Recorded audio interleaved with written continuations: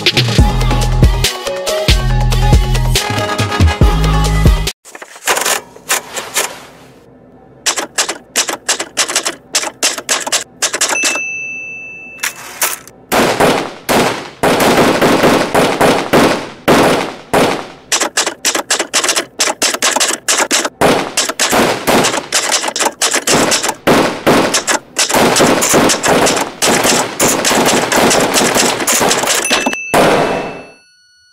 Over the past couple of years, the Philippines has become one of the deadliest places in the world for journalists, next to Iraq.